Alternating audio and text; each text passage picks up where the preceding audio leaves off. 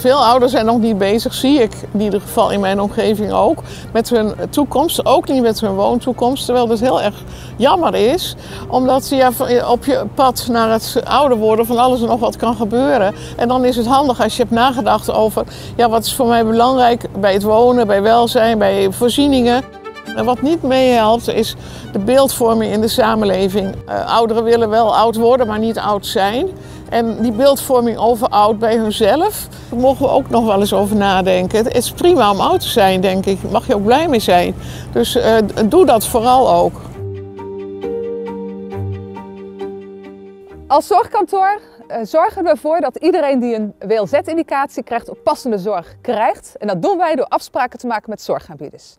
Dat is de ene functie. De tweede functie is dat wij een aanjaagfunctie voor ons zien op het gebied van het, het organiseren van een lerend netwerk, goede voorbeelden bij elkaar brengen op het platform van zorg naar gewoon leven.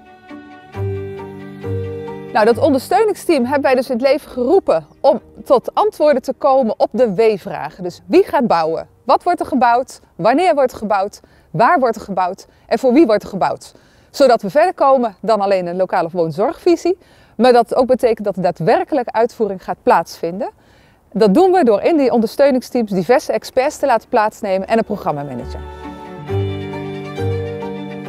Ja, wij zien als sleutel voor het langer thuiswonen is, zit hem echt in de integraliteit. Dus dat betekent echt de samenhang van wonen, van zorg en het gewone leven. En als we die transformaties in gezamenlijkheid naast elkaar kunnen optrekken, geloven wij dat we een oplossing kunnen bieden aan de knelpunten die we nu uh, tegenkomen in ouderenzorg.